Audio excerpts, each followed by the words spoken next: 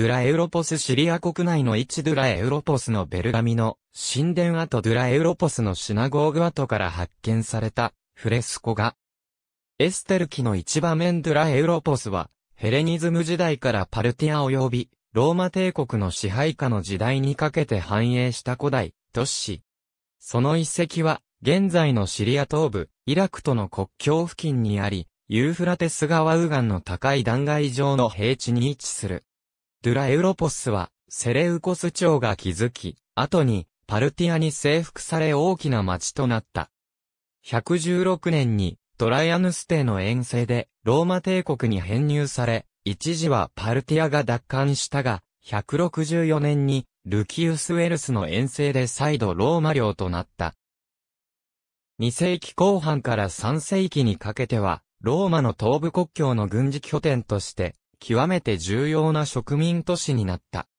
しかし3世紀前半にサーサーン朝によって、パルティアが倒れ、ローマを圧迫するようになり、257年には、シャープール一世の遠征で陥落し、以後廃墟のまま放棄された。20世紀前半にドゥラエウロポスの発掘が始まり、考古学的に重要な発見が次々になされた。256年から257年にかけてのサーサーン朝による征服で放棄されて以降、ドゥラエウロポスには建物などが建てられることはなかったため、後世の住居や要塞建築などが残り、他のローマ都市のような古代都市の上に新たな施設等が建設され、古代の都市計画を分かりにくくするという事柄が起こらず、このためローマの植民都市の姿を知る上で貴重な遺跡となった。また、帝国の変縁にあるという立地のため、ギリシア、ローマ、パルミラ、シリア、ペルシア、オリエントなど異なった文化がこの町には共存しており、その遺物も遺跡から多く見つかった。様々な文化に由来する神々に捧げられた神殿、ユダヤ人が建てたシナゴーグ、ローマの軍事植民都市によく見られる、ミトラ教神殿、壁飾り、悲鳴、軍の装備、墓所、そして、ドゥラエウロポスが滅ぼされた、後遺線の痕跡などもこの遺跡からは発見されている。都市遺跡は、ユーフラテス側から切り立った崖の上にあり、ユーフラテスの流れを見下ろすことができる。崖の上の平らな土地が都市になっているが、その北と南に深い谷がユーフラテス川に向かって落ち込んでいるため、都市の広がりの限界になっているとともに都市を守る天然の堀となっている。西はシリア砂漠に向けて平地が続いている。街の中にもいくつかの谷や和地がユーフラテス川沿いの崖へ向かって走っており、市街地とアクロポリス及び城塞を分ける境界線になっている。ユーフラテス沿いの地方は豊かな農地が続いているが、ドゥラエウロポスのある崖の上は砂漠地帯である。市街地はユーフラテスの崖に沿うように南東から北西へ走る通りと平地から崖に向かう南西から北東へ向けて走る通りが直行しており、5番目上の街並みを形成している。街の東側は和地がいくつかあり、起伏もあるため直行する街路が途切れており、断崖とユーフラテスを背にした堅固な要塞などが並ぶ。町の西側は繁華な地区で、これらはすべて城壁で囲まれている。東、北、南は崖に囲まれた地形であるため、サーサーン朝による最後の攻撃は砂漠に開けた、西側から行われている。ドゥラ、ドゥル、デル、ドルは、ヘレニズム期以前のバビロニアやアッシリアの集落に共通する地名であり、集落を意味する。この遺跡からは、バビロニア末期の円筒印象や設計文字の書かれた粘土板なども出土しているが、ヘレニズム期以前の建築物の跡は、現在見つかっていない。ヘレニズム期の初期には、マケドニア王国の退役兵らがこの地を与えられ、植民集落を築いたとみられる。エウロポスの町は、紀元前303年に、セレウコス朝により、地中海側のアンティオキアとチグリス川沿いのセレウキアを結ぶ東西交易路とユーフラテス沿いに走る交易路が交差する地点であるドゥラの地に建設された。ニカトールという人物が都市を築いたことが知られるが、彼の生涯は不明である。王であるセレウコス一世ニカトールの親戚とも考えられる。新しくできた都市は、セレウコス一世ニカトールの故郷と同じエウロポスの名を付けられた。紀元前5世紀のギリシアの都市計画カミレトスのヒッポダモスの基準にのっとり、37メートル70メートルの長方形の外区が規則正しく設けられ、中央には都市機能の中心となる広場であるアゴラが置かれた。周囲は城壁と城塞で厳重に守られていた。ドゥラエウロポスの建物跡ドゥラエウロポスの城塞。ユーフラテス沿いの崖の上に立つペルシアに起こったパルティアは紀元前114年にエウロポスを陥落させた。パルティアの支配下で救命のドゥラが復活した。ドゥラエウロポスとは近代に名付けられた遺跡名で古代の文献にこのような名は登場しない。パルティアは軍団や地方行政の中心をドゥラに置いたが、市民生活は、パルティア風ではなく相変わらず、ヘレニズム風であった。特に上流階級には、ヘレニズムの威風が濃く、セレウコス朝の王たちへの崇拝も続いていた。シリア砂漠のキャラバン都市パルミラとの交通が盛んで、パルミラ製の遺物も発見されている。紀元1世紀及び2世紀がドゥラの町の最盛期であった。城壁内部は完全に市街地化され、軍事都市の性格を失いキャラバンを通じた交易都市の性格を強めた。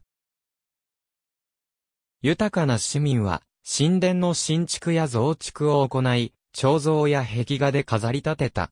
これらの神殿は市民の豊かさを示すものであった。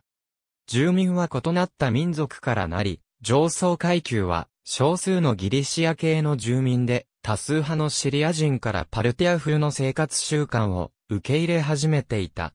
その他ユダヤ人、アラム人、パルミラ人、ペルシア人など多様な民族が住み多くの言語が流通した。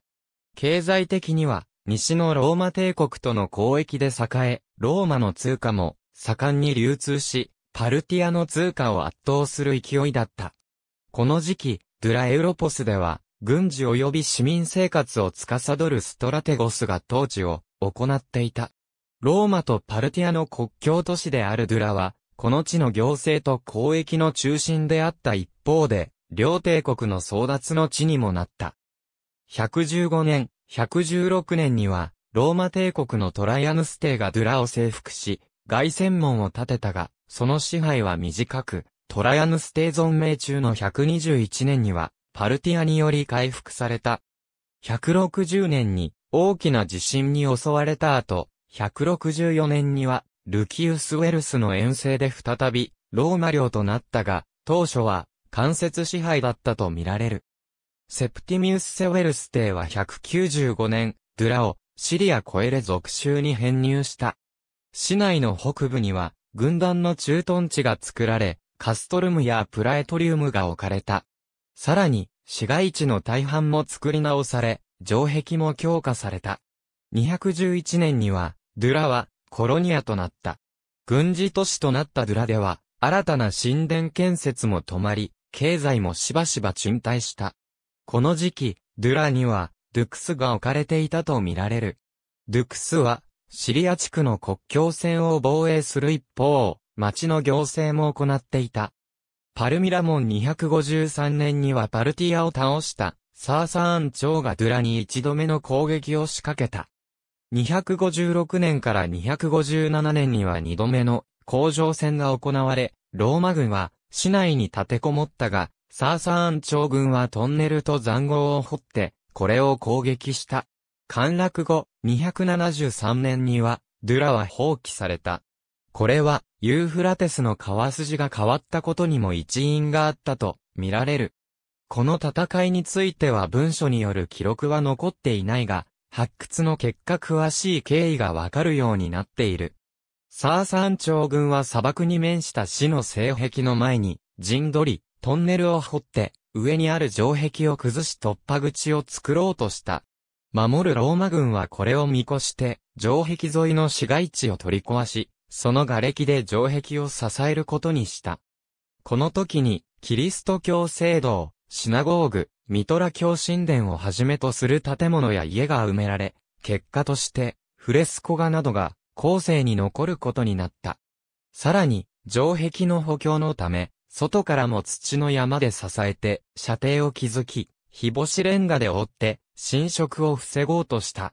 南の谷を見下ろす城壁跡256年、シャープール一世率いる軍による攻撃が開始された。シャープール一世は公平に、ドゥラの正門である、パルミラ門から二つ北にある塔、考古学者が、第19塔と呼ぶ塔の下にトンネルを掘らせた。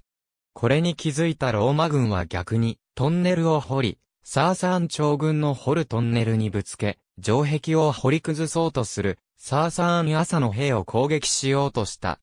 ローマ軍の逆トンネルが、サーサーン長軍のトンネルを掘り当てると、すでにサーサーン長軍は城壁に沿って複雑な地中回廊を築いていた。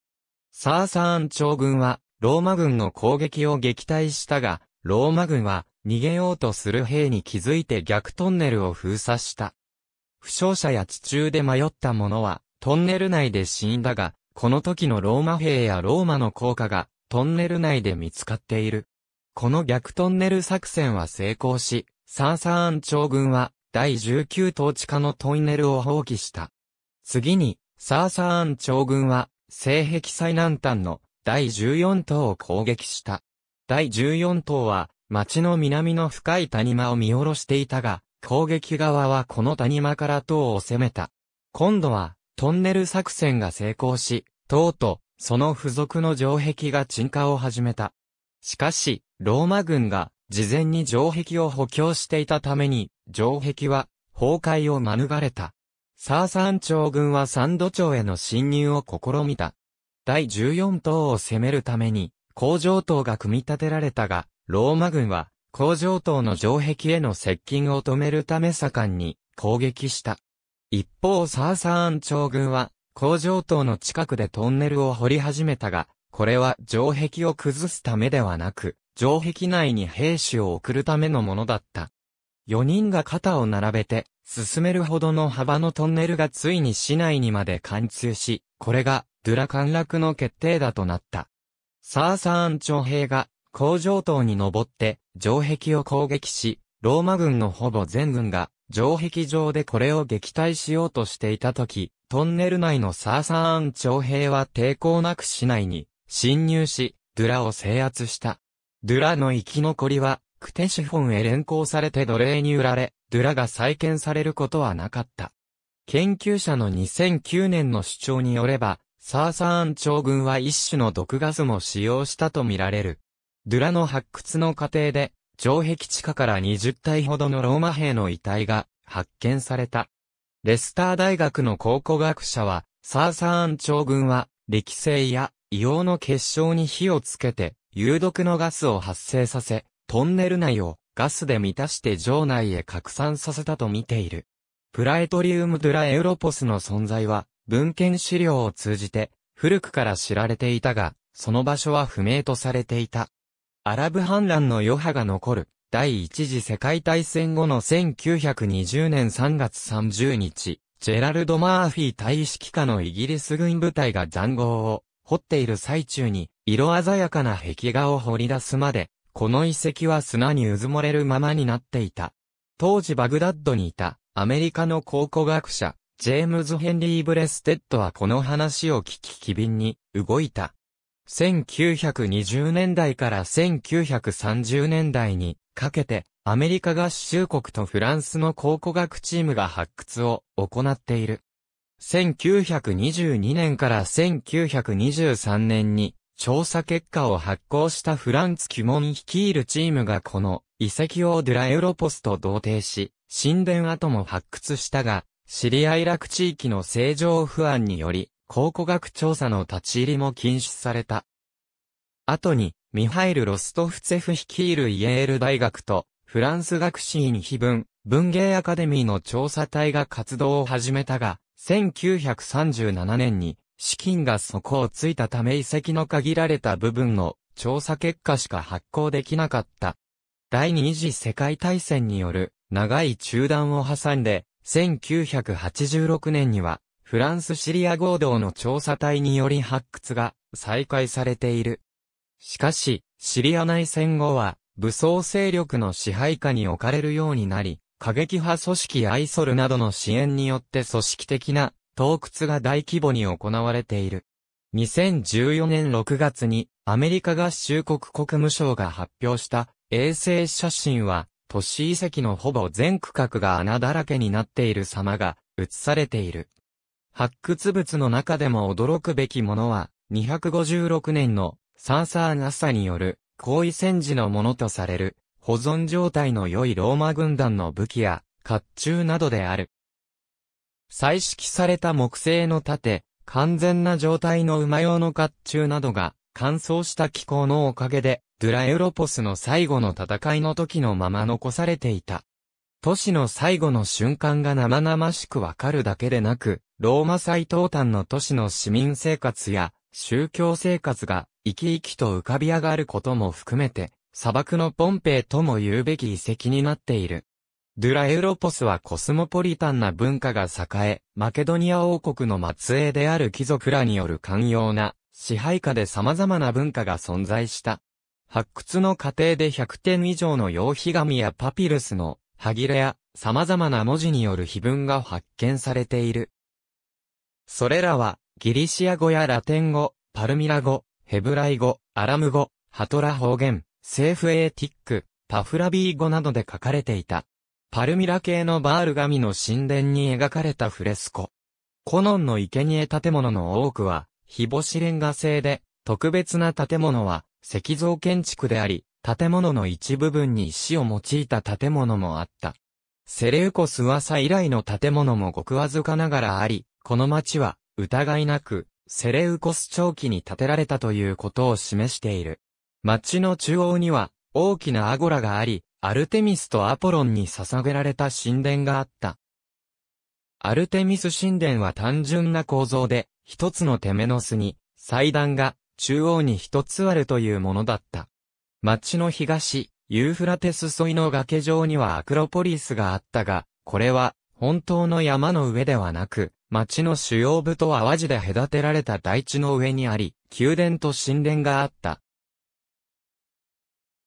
同じく、ユーフラテスの崖上には、町と淡路で隔てられた堅固な城塞があり、ヘレニズム期からパルティア期にかけて、ストラテゴスが住んでいたと見られる宮殿があった。ヘレニズム期の城塞設計の際には、石が多く用いられていたが、この要塞化は結局完成しなかった。パルティア期には、都市計画に大きな変更はなかったと見られる。しかし、ギリシア風の建物に変えて、パルティア様式の建物が建つようになり、未完成だった古代ギリシア風のアルテミス神殿に変えて、パルティア風のアルテミス神殿が建った。また、都市の国際化に伴い、ギリシアの神々の他に、シリアの神々、パルティアの神々を祀る神殿が増えた。ギリシア化されたセム系の神や、セム系の名になったギリシアの神などもあるが、崇拝方法や建築はオリエントの形式であった。これらの神殿は、市民の寄付で立ち、神々や寄進者や生贄などの絵で飾られた。これらの絵画の中には、職人のサインが入ったものもある。バール神殿は、西の市壁の北端に築かれていた。建築時期は、数度にわたると見られ、中庭を囲んでいくつかの部屋があった。神殿は北側に立ち4本の柱が、特徴的だった。その後ろには二つの部屋があり、色彩豊かな壁画に彩られていた。その他に、拝殿もあり、崇拝の図像で飾られていたとみられる。バール神殿と同じように、シリア地方の女神アタルガティスの神殿が、町の中心近くに建てられた。神殿は大きな中庭の中央にあり、印象的な門などがあった。中庭の周りにたくさんあった小さな部屋は、それぞれ様々な神を祀っていたとみられる。シナゴーグの前、庭跡町の南東には、市街地の他の部分と和地で隔てられるようにして、ギリシア風のアクロポリスが設けられていたが、ヘレニズム期にあったはずの神殿についてはほとんどわかっていない。2世紀には、町で最も重要な神殿の一つであるゼウスの神殿がここに建てられた。ゼウス神殿の絵画は多くが見つかっている。神殿背後には、戦車の傍らに立ち二人のニケにより冠をかぶせられる、ゼウス人の姿があった。ホールの側壁には寄進者やその一族が描かれ、建物は装飾や彫刻で飾られていた。アクロポリスのその他の重要な神殿に、ゼウス神殿とほぼ同じ形態で建てられた、カド神殿、アルテミス神殿、ゼウスメギストス神殿などがあった。シナゴーグの壁画。モーセがナイル川から拾われる場面西側の四壁の脇、第18棟と第19棟の間からは、ユダヤ教のシナゴーグが発見され、244年に、遡るアラム語碑文がここから見つかっている。この時代の数多いシナゴーグ遺跡の中では最も保存状態が良いものとされるが、256年のサーサーナサによる後位戦にあたってすぐそばの城壁を補強するために、一体の家屋と共に取り壊され、土砂や瓦礫で埋められたためにかえって、よく保存される結果となった。1932年に、クラーク・ホプキンスにより発掘され、列中に囲まれた、前提、人々や動物を描いた数々のフレスコの壁画がある、集会所、エルサレム方向に向かって西壁に設けられたトーラーを安置した壁画などが出土した。こうした配置には、後のイスラーム建築におけるモスクに共通するものがある。壁画は、旧約聖書の一連の物語を描いた絵画としては、現存する世界最古のものであり、現在は、ローマ軍の馬用甲冑などと共に、首都ダマスカスの博物館に良い状態で展示されている。家を使用した教会の後、右側の部分が礼拝堂。洗礼室の壁画ドゥラエウロポスからは、判明した中では最も初期のキリスト教の教会堂も発見されている。これは民家を教会堂に使用したもので、西の鹿部沿いの第17島付近の外区にあり、シナゴーグと同様256年の工場船に備えて埋められたために途中で保存される結果になった。ローマの大きな兵営都市のただ中に、教会が公然と許容されて存在したということは、初期のキリスト教会の歴史が、異教による迫害を受け続ける一方だったという、単純なものではなかったことを明らかにしている。洗礼室に残っていたフレスコ画は、おそらく現存最古のキリスト教会画とされる。この中には、良き羊飼い、中部の人を癒すイエス、水の上を歩くイエスとペテロなどの図像が見られるが、これら、イエス・キリストの描かれた現存最古の絵画は235年に遡ると見られる。洗礼室のより大きなフレスコには大きなサルコファガスへと近づく二人の婦人が描かれている。おそらくこれはキリストの墳墓を訪れる三人のマリアと見られ、サロメの名は婦人の一人のそばに書かれている。また、アダムとイブやダビデとゴリアテを描いたフレスコもある。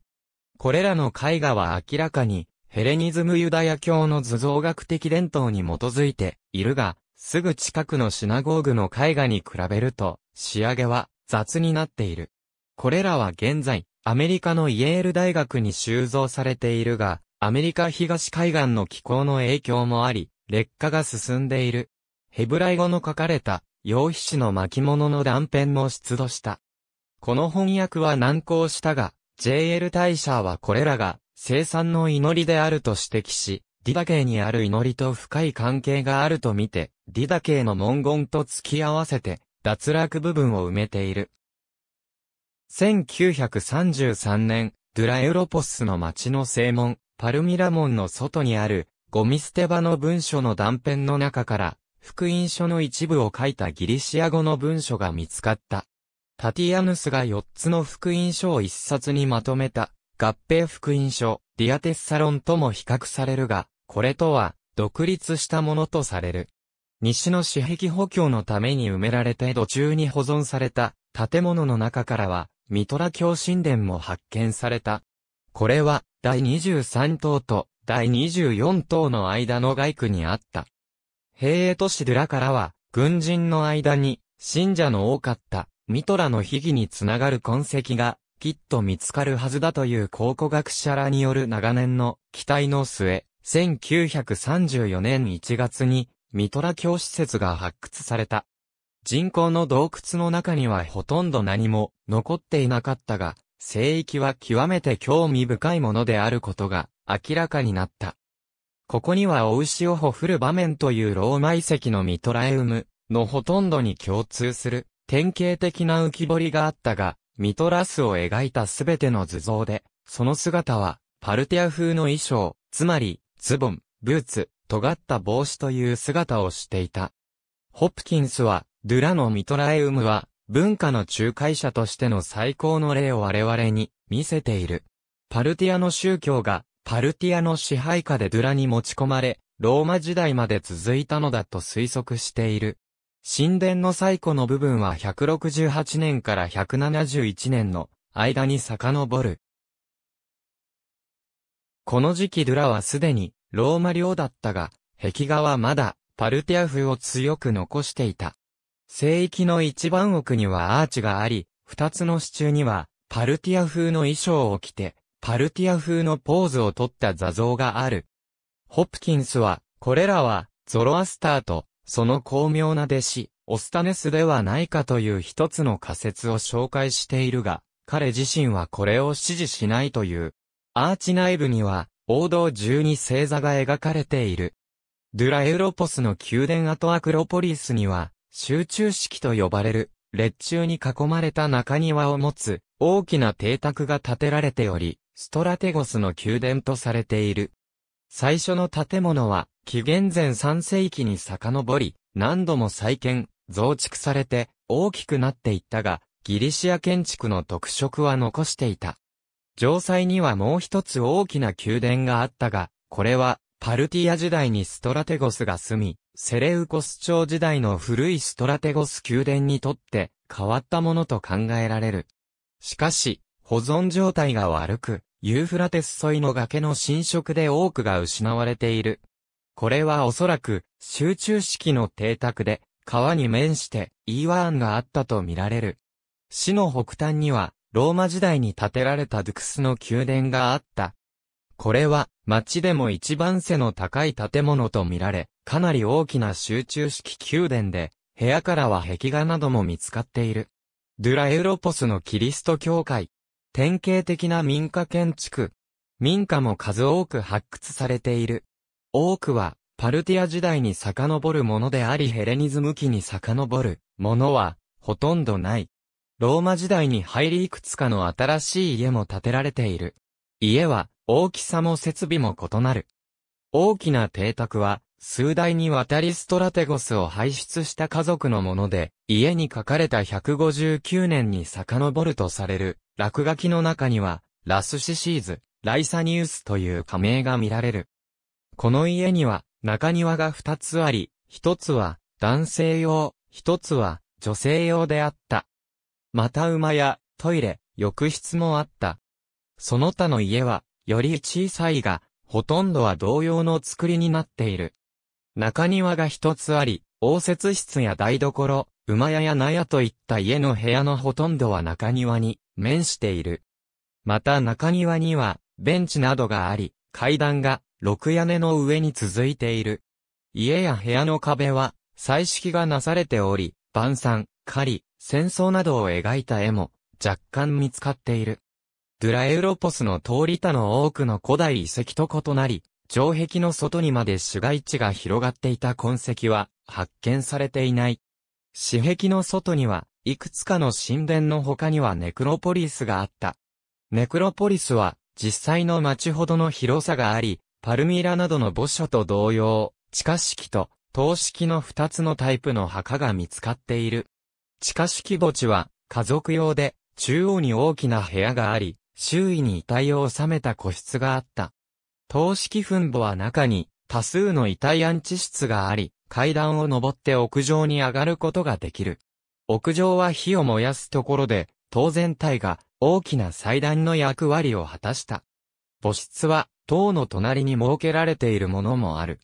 塔式墳墓の一つは、現代になって再建されており、積もった砂を取り除いて、古代のファサードが全面見えるようにされている。パルティア時代の長かったドゥラは、ギリシアローマ都市の多いシリアの他の古代都市と比べると、公共建築が少ない。しかし、支配層にギリシア系が多かったこともあり、小さな劇場、浴場、フォルムがあった。ローマ帝国のトラヤヌス帝による征服時第三軍団キュレナイカにより、ドゥラにローマ式の外線門が建てられた。この門は町のすぐ外側にあり、パルティアに対する勝利を記念したものだった。しかし、直後にパルティアがドゥラを奪還しているが、この外線門は壊されなかった。ルキウス・ウェルスがドゥラをローマに編入すると、アンフィテアトルムが建てられたが、市民の需要は少なかった。碑文によれば競技がここで開かれていたことは確かである。いくつかの公共浴場も建設された。こうした建築は、ローマ軍団の兵が自分たちが使うために建てたものと見られるが、浴場は、ローマ以前にもあったと考えられ、ローマ兵以外の利用もあったと見られる。市内には市場もあった。町の中心部は商店街で小さな店が密集していた。また砂漠を横断してくる対象のための対象宿もあった。